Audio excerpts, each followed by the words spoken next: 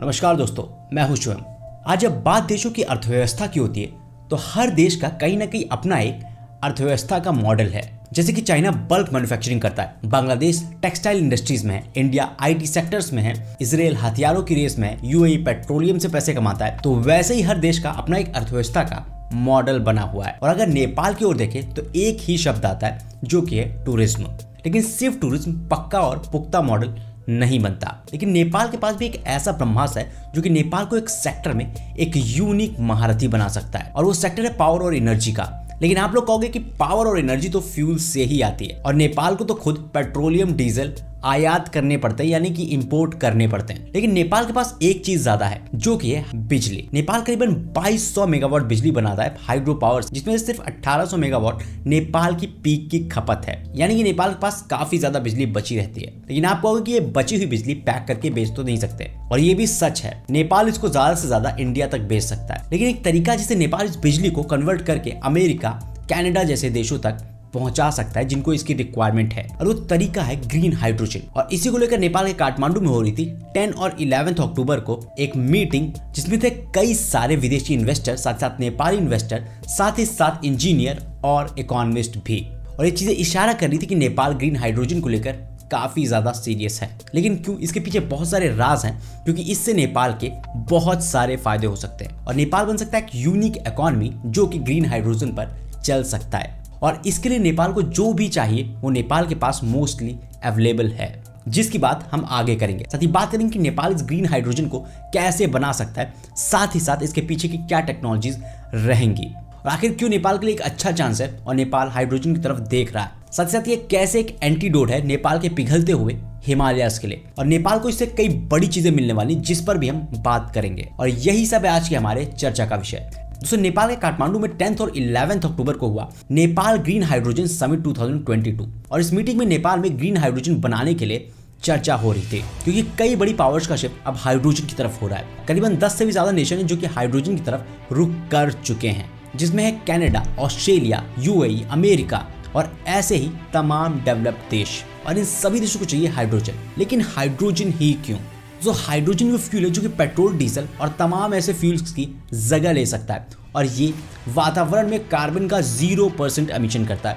यानी कि वातावरण को कोई भी नुकसान नहीं पहुंचाता है। तो पूरी दुनिया में एक नई मार्केट क्रिएट हो रही है, जो कि है ग्रीन हाइड्रोजन की, जो कि आने वाला फ्यूचर है। बहुत सारे लोग कहेंगे कि नेपाल ही इस पर क्यों सोच रहा है? और क्या नेपाल ये कर सकता है? तो ऐसी बात नहीं कि नेपाल ही इस पर सोच रहा है। नेपाल के पड़ोसी देश भारत ने भी यही चीज़ सोची है कि वो एक प्रोड्यूसर बनेगा हाइड्रोजन का और हाइड्रोजन को एक्सपोर्ट करेगा। लेकिन नेपाल भी क्यों इसका रीजन है कि नेपाल के पास है सरप्लस अमाउंट ऑफ़ इलेक्ट्रिसिटी और हाइड्रोजन बनाने में इलेक्ट्रिसिटी का बहुत बड़ा योगदान है। तो इसलिए नेपाल के पास एक एज हो सकती है कि नेपाल जल्दी इस पर काम शुरू कर सकता है।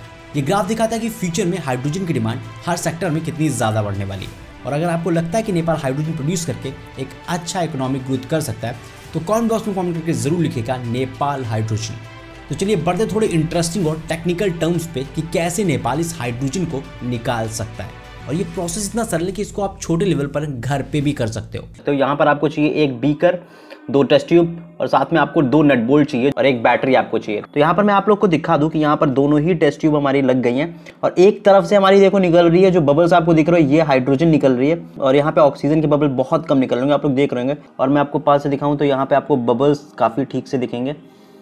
और ये तार जो है ना, इनको मैंने 12 वोल्ट डीसी दिया हुआ है। तो ये मैंने अडाप्टर से दिया है।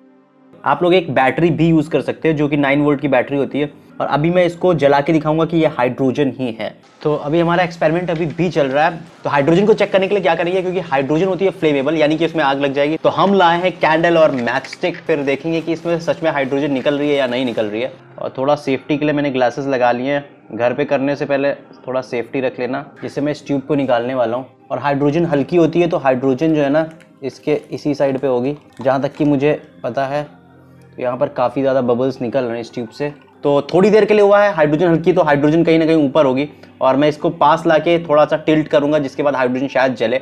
अगर होगी तो थोड़ी बहुत भी। तो देखते हैं फ्लेम के पास ला के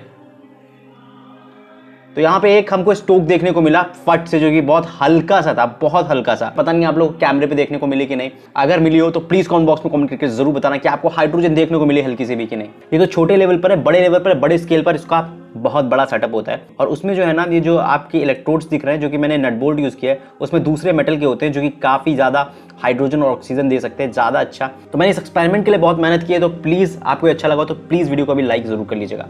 दोस्तों, आज नेपाल के पास सरप्लस बिजली है, यानी कि ज़्यादा बिजली है, जिसको नेपाल, इंडिया को बेचने की सोचता है।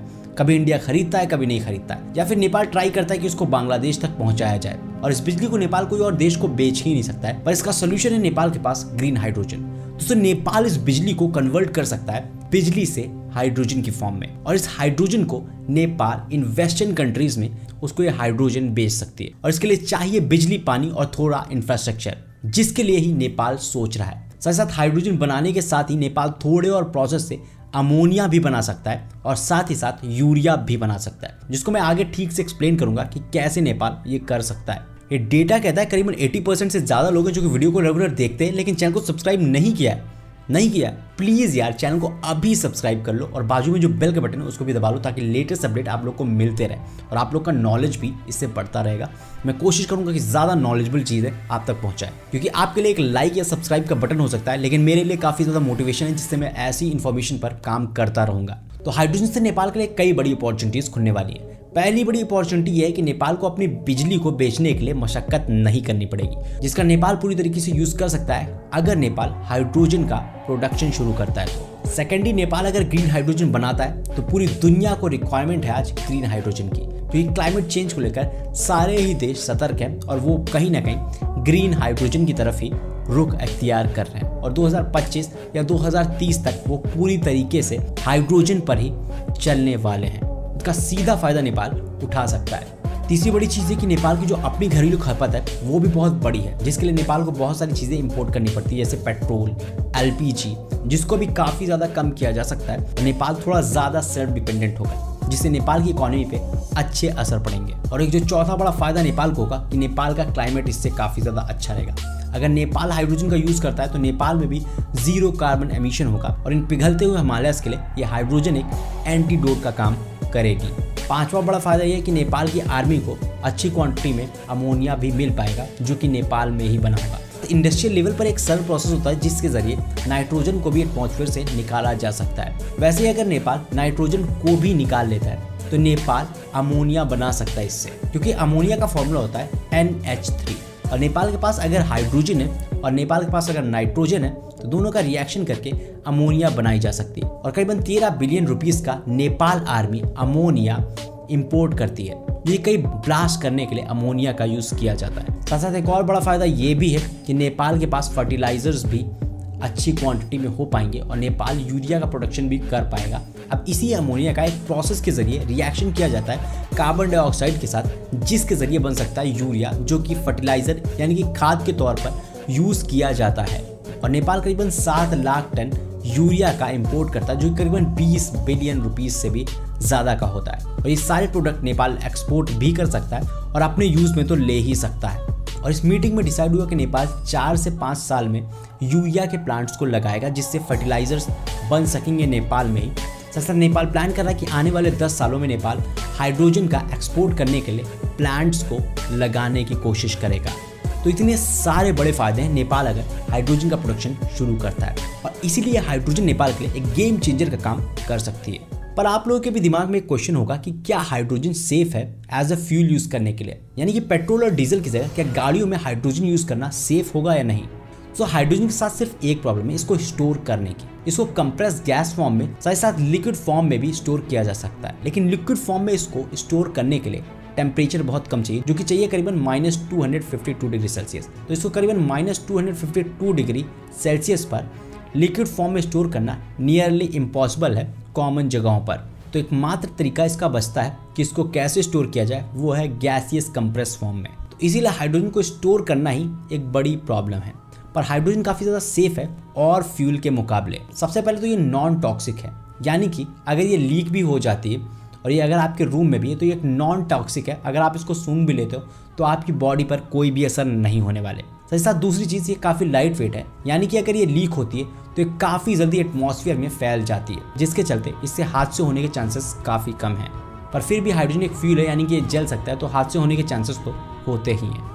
तो कैसे लगे आपको वीडियो? कमेंट बॉक्स में कमेंट करके ज़रूर बताइएगा। साथ ही अगर आपको वीडियो अच्छी लगी तो प्लीज़ इसको लाइक ज़रूर कीजिएगा और चैनल को सब्सक्राइब नहीं किया तो चैनल को अभी सब्सक्राइब कीजिएगा और बेल का आइकन ज़रूर दबा लीजिएगा। साथ ही इसको अपने फ्रेंड्स और फैमिली तक शेयर ज़रूर कीजिएगा ताकि सबको ऐसी नॉलेज और इन्फॉर्मेशन मिलती रहे।